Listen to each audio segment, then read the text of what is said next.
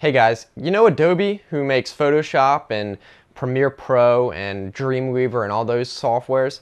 Well, they actually have a new product service called Adobe Creative Cloud, which lets you have a monthly subscription to the Adobe Master Collection, which usually costs about $5,000.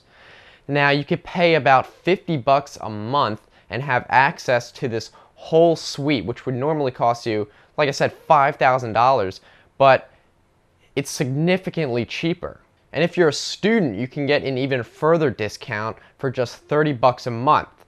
Now, I signed up for this because I use a lot of Adobe software like Photoshop and Premiere Pro, and I can actually use most of that software, but it wouldn't be worth it for me to buy the whole collection for $5,000. And even buying one of those pieces of software is about $600.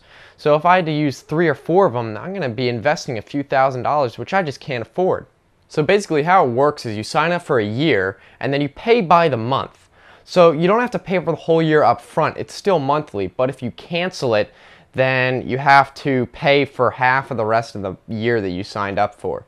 But still, it's a way better deal than having to buy the whole master collection. And then since Adobe releases every two years an update, you'd be paying like a $1,000 for the update. So over a few years, you're definitely going to save money if you use the Creative Cloud. Because then it's 300 bucks a year versus $1,000 a year.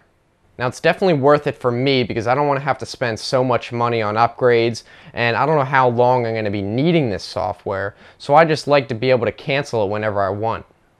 So if you're someone who uses Photoshop, maybe you're pirating it right now, then you can get it for a lot cheaper than if you were to buy it outright. It's actually cheaper to get this whole thing for a year and get all the software than to just buy one piece of software outright. So if this sounds like something interesting that you might like, check out the Adobe Creative Cloud. I'll put a link in the description so you can check it out if you're a student. I definitely recommend this because it's been a huge help for me when I'm trying to edit my videos and make backgrounds and that kind of stuff. It's definitely worth it for me. I think it would be for you. And also let me know what you think. I mean, do you not use Adobe? Do you use other programs that you prefer otherwise? Because I'm always open to maybe trying out new software if I think there's something better to use. So do you use Avid or Final Cut Pro? I don't have a Mac so I couldn't use that, but let me know what you guys use. Is there something better that I should know about? So if you have any recommendations, leave that in the comments. And also be sure to like the video, subscribe, and all that good stuff. And thanks for watching.